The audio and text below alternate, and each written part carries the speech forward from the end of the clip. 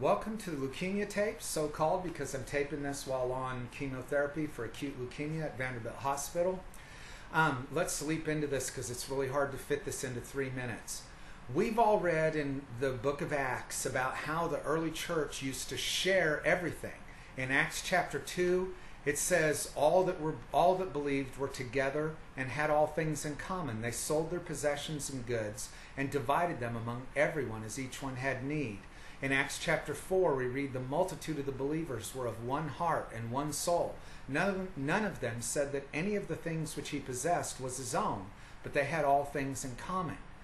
And it's generally said that this only happened in Jerusalem. And in fact, most of us prefer for that to be true. We have all kinds of excuses and reasons for not wanting to do this wonderful fellowship among the saints who have the Holy Spirit and who are empowered with love from heaven, who ought to be delighted at the opportunity to be family and share with one another.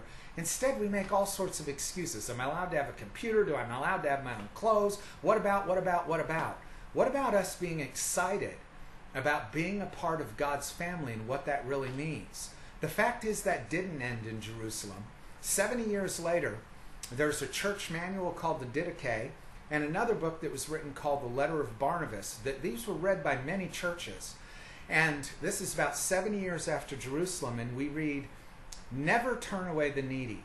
Share all your possessions with your brother, and do not claim that anything is your own. If you and he are joint participators in what is immortal, how much so, more so in things that are mortal? And then there's a couple of apologies from the second century. Apologies are defenses of the faith where Christians wrote to the emperor and said, Here's what Christianity is like. We're not criminals, we're good people.